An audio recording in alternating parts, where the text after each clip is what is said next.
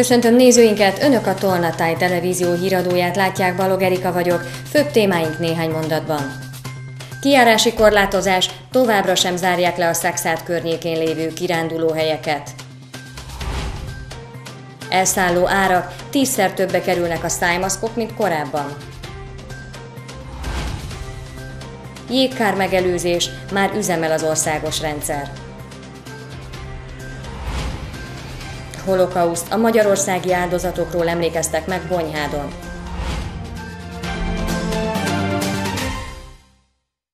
Továbbra sem zárják le a Szakszárd környékén lévő kirándulóhelyeket, de szigorúbban ellenőrzik a szabályok betartását a hatóságok ezeken a helyszíneken és a bevásárlóközpontok környékén is a hétvégén, jelentette be Ács Rezső Szakszárd polgármestere. A városvezető kiemelte, az önkormányzat jelentős lépéseket tesz a védőfelszerelések beszerzése terén is, hogy még hatékonyabban lehessen fellépni a koronavírus járvány ellen. Rendőrök ellenőrizték a korábbi hétvégéken a bevásárlóközpontok környékét és a közterületeket, hogy mindenki betartja-e a kijárási korlátozás szabályait, amit a koronavírus járvány megfékezése miatt vezetett be a kormány. Az egyenruhásokat még gyakrabban láthatjuk majd az elkövetkező napokban. Ugyanis bár nem rendelt el szigorítást átsezső Szexárd polgármestere a Szexárdi és környéken levő kedvelt kiránduló helyeken, és a játszótereket sem záratta le, gyakoribb ellenőrzést kért a hatóságoktól. Az erről szóló rendeletet pénteken írta alá a városvezető.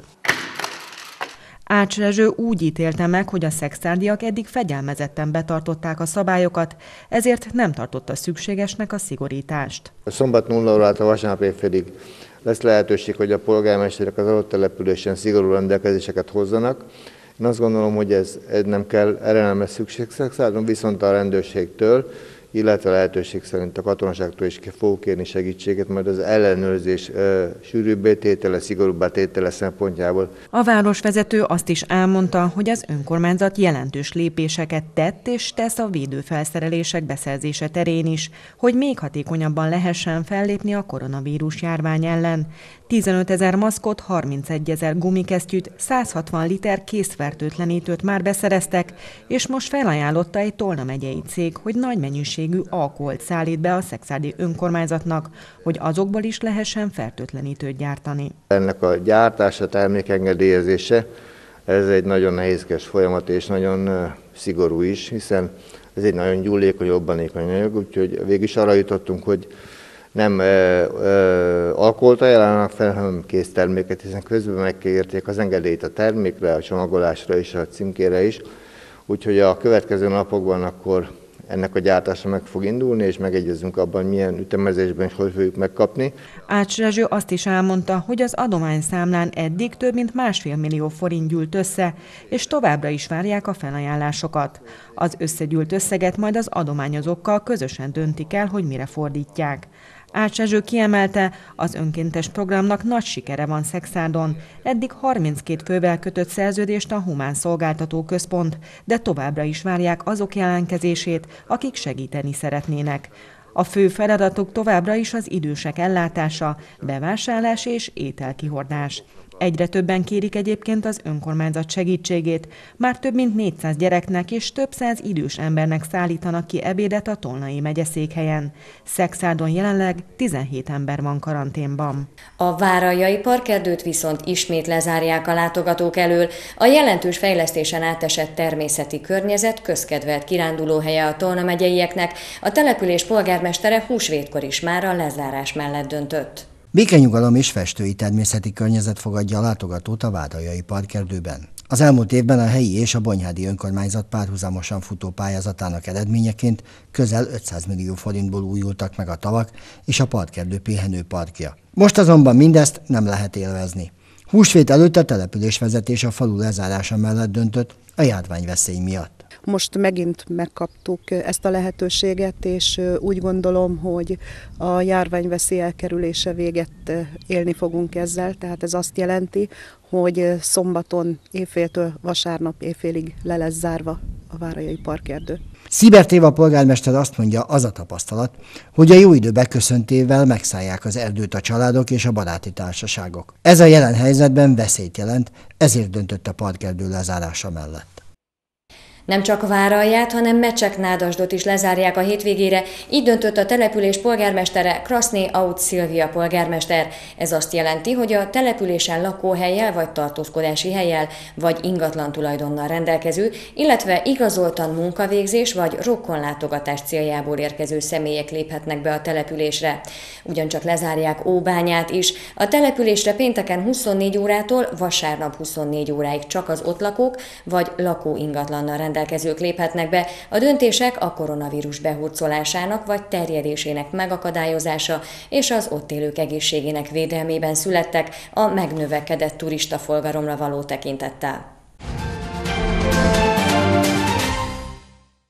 Újabb magyaroknál mutatták ki az új koronavírus fertőzést, ezzel 1763 főre nőtt a hazánkban beazonosított fertőzöttek száma. Elhunyt újabb 14 idős krónikus beteg, ezzel 156 főre emelkedett az elhunytak száma, 207-en pedig már gyógyultan távoztak a kórházból. Tonna megyében 14 fertőzöttet tartanak nyilván, országos szinten 847 koronavírusos beteget ápolnak kórházban, 63-an vannak lélegeztetőgépen. A betegek betegek számának növekedése miatt a kórházak országszerte növelik ágykapacitásaikat, készülve a tömeges megbetegezések fázisára. Tízszer többbe kerülnek most a szájmaszkok, mint a koronavírus megjelenése előtt. Az egyik szexárdi patikus szerint a gyártók és a nagykereskedők emelték meg az árakat. A fogyasztóvédelem azt ígéri, lecsapnak a túlárazott maszkokat kínáló cégekre. Ilyen előre kicsomagolt mennyiségeket készítünk ki, azért, mert ugye mivel ilyen drága, nem várható, hogy egész dobozokat visznek. Előre kicsomagolva kapható az egyszer használatos sebészi szájmaszk ebben a szexárdi patikában. A koronavírus megjelenésekor hiánycik lett a szájmaszk. Mostanra már lehet a gyógyszertárakban kapni, de a korábban 50 forintba kerülő eszköz ára 8-10-szeresére nőtt. A maszkok esetében ez kb. 10-szeres árnövekedést jelent most. Ugye a járvány előtt 35 forint körül volt egy maszk, most, most 300 az a minimum, amit egy maszkért elkérnek, de láttam például élelmiszerboltban 1400-1500 forintért is egyszerű sebészi maszkot. Az interneten is megszaporodtak a szájmaszkot kínáló webshopok. A többszörös áremelkedés az online térben is jól észrevehető. Van, ahol egy korábban 4-5 ezer forintba kerülő szelepes maszkért most több mint 4 ezer forintot kérnek. A patikus azt mondja, a főként külföldi gyártók és a nagykereskedők emelték fel az áraikat, mert hirtelen nagyon megnőtt a kereslet. Nagyon sok import maszkot kellett ugye behoznunk, ennek is köszönhető az, hogy az importforrások drágábbak, ugye például kínai maszkokat tudtunk szerezni egyik alkalommal, hát nyilván az, mire ide el, elkerül, az a szállítási költség az rárakódik az ára. Közben a fogyasztóvédelem már figyeli a maszkokat kínáló nagykereskedőket. A túlárazott termékeket kínáló vállalkozások adatait pedig továbbítják az Innovációs és Technológiai Minisztériumhoz, hogy ott hozzák meg a szükséges intézkedéseket. 53,4 tonnányi egyéni védőeszközt osztanak ki az egészségügyi intézményekben. A Kínából származó egyéni védőfelszereléseket 17 fővárosi és 43 vidéki kórházba szállították ki pénteken, közölte a koronavírus fertőzés elleni védekezésért felelős operatív törzs ügyeleti központjának munkatársa pénteki online sajtótájékoztatón. Május 4-e és május 21-e között tartják meg az érettségit Magyarországon, ismertette Maruzsa Zoltán. A köznevelésért felelős államtitkár szerint kizárólag azokban az esetekben lesz szóbeli, ahol a vizsgáztatás írásban szinte lehetetlen lenne. Öt ilyen tantárgy van, valamint a testnevelés, amit írásban nyilván nem lehet teljesíteni. Azok, akiknek írási nehézségeik vannak, szintén szóban érettségizhetnek. Az államtitkár kijelentette, teljes értékű nyelvvizsgát ér majd idén a nyelvi írás írásbeli érettségi. Már üzemelnek a jégkár enyhítő rendszer generátorai az országban, a hálózat több milliárd forintnyi kártól menti meg minden évben a mezőgazdaságot, az egész országot lefedő rendszer a világon egyedül Magyarországon van. Már üzemel az országos jégkármérséklő rendszer, A hálózat összesen 896 úgynevezett talajgenerátorból áll, ezek közül 37 található Tolna megyében. A generátorok acetonos ezüstjodit elégetésével működnek, amelyek nagy magasságba jutva kondenzációs pontot képezve összegyűjtik a közelükben lévő vízcseppeket, amelyek ráfagynak ezekre a kis pontokra. Nagyon sok, de kis jégszemcse keletkezik, és ezáltal, mire ezek a földre jutnak, vagy elolvadnak, és eső formájában érnek földet, vagy pedig nagyon picike jégszemcsék formájában érnek csak földre. A rendszer megelőzésre lett kitalálva, így a már kialakult jégszemcséket nem olvasztja meg, ezért a védett területen kívülről érkező jégesőt nem tudja megakadályozni, de még így is több milliárd forintnyi kártól menti meg minden évben a mezőgazdaságot. A rendszer működésének előnyeit azonban nem csak a mezőgazdasági termelők, hanem a lakosság is érezheti, hiszen jelentősen csökkennek a kiskertekben, a személygépkocsikban, épületekben keletkező károk. A jégkár mérséklő rendszer idén a tervek szerint szeptember végéig üzemel majd. Megemlékeztek a holokauszt magyarországi áldozatairól Bonyhádon. A város polgármestere az elmúlt évekhez hasonlóan megkoszorúzta a helyi emlékművet. 1944. április 16-án kezdődött meg a hazai zsidóság gettúk bazárása, és csak nem 600 ezer magyarországi zsidó származású ember gyilkoltak meg, vagy üldöztek el. Egyedül, részvevők nélkül, de tartotta a hagyományokat Bonyhád polgármestere április 16-án. Ezen a napon emlékezzünk meg minden évben a holokauszt magyarországi áldozatairól. Bonyhádon Filóné Ferenci a polgármester koszorúzta meg azt az emlékművet, melyet 2014-ben adtak át. Bonyhád életében jelentős változás hozott a holokauszt, hiszen több mint 1200 polgárát veszítette el a város. Ezért a deportálás 70. évfordulóján emlékművet állítottak. Pasitka Herman, bonyhádi lelkész szerint minden évben meg kell emlékeznünk az áldozatokról, mely hagyományokat a fiatalabb generációnak is át kell adnunk. Akik akkor még nagyon fiatalok voltak, 15-20 év között, ők nekik csak és túlélték, ők közük még élnek némelyek, de, de épp ezért azok, akik e, ezekkel a dolgokkal tisztában vannak, és ráadásul látjuk az imént is említett folyamatokat Európában, ez akkor nagyon is meg kell, tehát hogy mondjam, az új és új generációkat meg kell tanítani arra, hogy Európának a történelme milyen súlyos bűnökkel terhel. A 76 évvel ezelőtt történt események során csak nem 600 ezer magyarországi zsidó származású ember gyilkoltak meg vagy üldöztek. Térségünk, értékünk címmel új Facebook rovatot indít a Paks 2 ZRT, ami 47 Paks környékén fekvő települést mutat be. A virtuális barangolás célja a térség értékeinek megmutatása, továbbá a projekttársaság és a települések közötti kapcsolat erősítése. Mikler István a cég kommunikációs vezetője azt mondta, remélik, hogy sokan felfedezik majd a településeket bemutató fotót, rövid leírást, és segítik egy-egy megosztással azt, hogy ezt mások is megtegyék. Most viszont nem a beruházással kapcsolatosan indítottuk el a Facebook rovatunkat, hanem azt szeretnénk, hogyha ezeket a településeket, mind a Duna jobb, mind pedig balpartján lévő településekről beszélek, minél többen megismernék, minél többen felfedeznék, hogy mennyi mindent rejtegetnek, mennyi kincs van tulajdonképpen ezen a településekben. Hol egy épület, hol egy fa, és mi ezeket szeretnénk bemutatni. Somogy és Baranya megyék híreivel folytatjuk a híradót. Hitelmoratórium, sokan élnek a lehetőséggel. Megállt az értékesítés, átrendezte a piacot a vírus. Baltával támadta feleségére az ebéd miatt, akár 8 évre is börtönbe kerülhet a törvény szerint.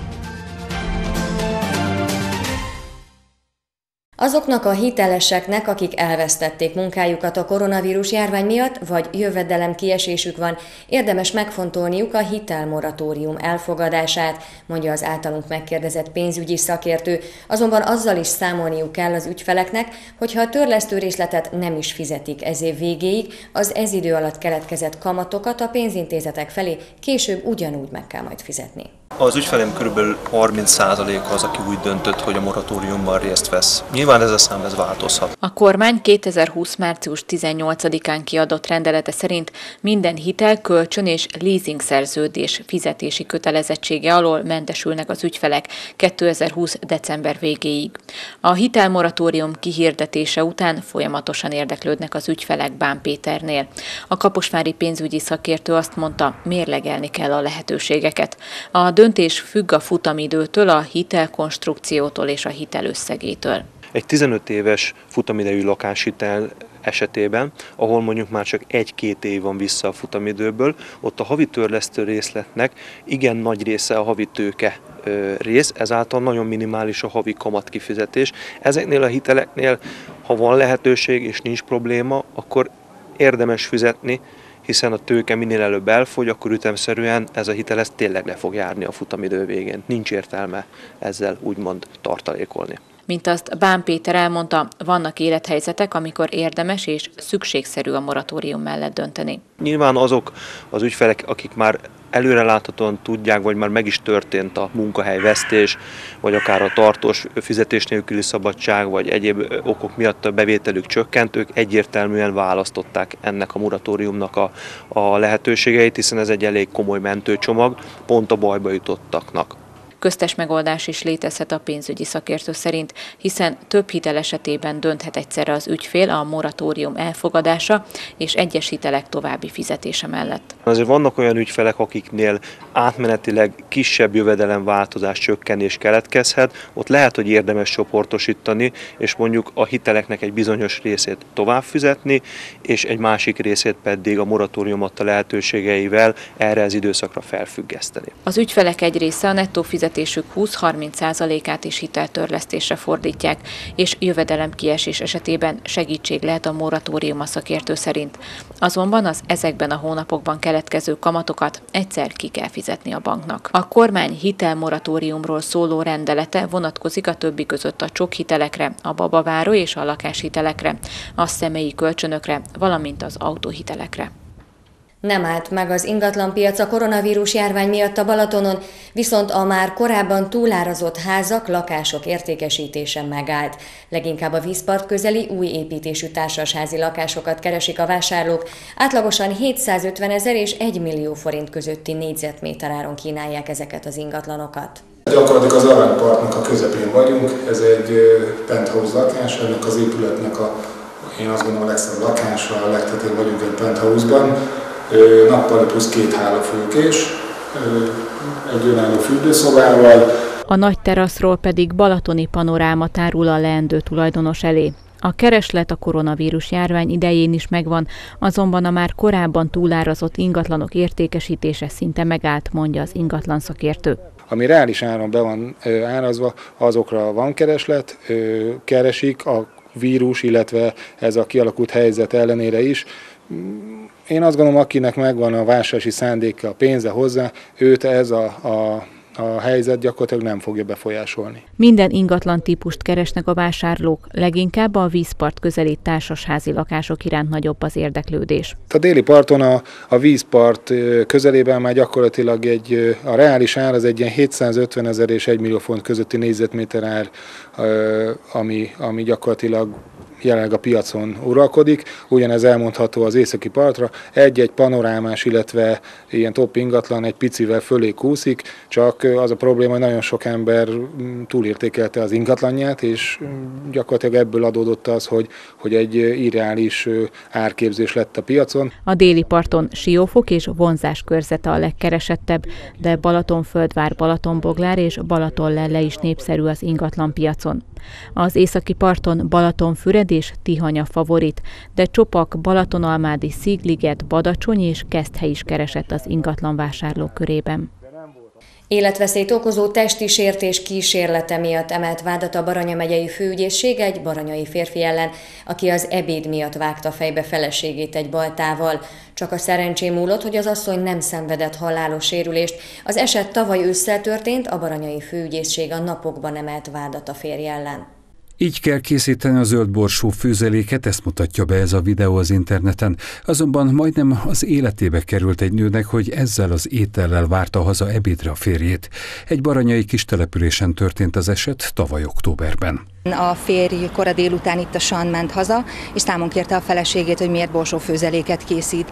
Ezen a házas pár veszekedni kezdett, az asszony meg is ütötte a vádlottat, aki akkor kiment a házból és a pajtához magá, magához vette egy fejszét, a nő pedig egy sodrófát vett a kezébe. A felek között a vita a bejárati ajtónál is folytatódott. A férj ittasan hadonászott ezzel a fejszével, a nő pedig többször ráütött a férnek a kezére, aki egy ilyen alkalommal megragadta a nő kezében lévő sodrófát és lerántotta az asszonyt a földre, majd a földön fekvő feleségének a fejét egy alkalommal ennek a baltának a fokával megütötte. A bántalmazás után az 59 éves férfi kerékpárra ült és eltávozott a helyszínről. A vérző sértethez pedig a szomszéd hívott mentőt. Csak a szerencsém múlott, hogy az ütéstől az asszony nem szenvedett súlyos agysérülést, így a vádlott cselekménye életveszélyt okozó testi sértés kísérletének a megállapítására alkalmas. Ezért pedig kettőt 8 évig terjedő szabadságvesztést is kaphat. Az ügyészség a napokban emelt vádat ellene. Újabb kisfilmet készített a Horror Stories of Pécs névre hallgató független amatőrfilmes társulat. Az alkotók a koronavírus járvány miatt elrendelt kiárási korlátozások hatásait mutatták be egy közel három perces videóban. Cél, hogy felhívják a figyelmet arra, felelősséggel tartozunk magunk és mások egészségért azzal, hogy betartjuk a szabályokat. A közeljövőben újabb filmet szeretnének készíteni, melyben a pécsi százados Ábel is részt vesz majd, aki tavaly Cannes-ban nyert el a legfiatalabb tehetséges filmes díjat. Kihalt pécsi utcák, terek, ezeket mutatja be a Horror Stories of Pécs független amatőrfilmes társulat. A közel három perces kisfilm a koronavírus miatt bevezetett kijárási korlátozások hatásait szemlélteti. Az alkotás egy délután alatt készült el. Annak ellenére, hogy a videóban nem szerepelnek emberek és kevesen járják az utcákat, kihívást jelentett a felvételek elkészítése, hiszen soha nem teljesen üres a város, mondja a társulat alapítója. Német József szerint ilyenné kellene tenni a jelenünket, hogy minél jobb jobban csökkentsük a veszélyforrást a járvány idején. Sajnos adott a témája neki, és mivel így az elmúlt években való munkánkkal sikerült egy pár ezres követőtáborra szert tennünk, így kötelességünknek éreztük a kialakult helyzet miatt, hogy készítsünk egy ilyen úgymond figyelemfelkeltő videót is nekik, és persze mindenkinek, aki megnézi azt.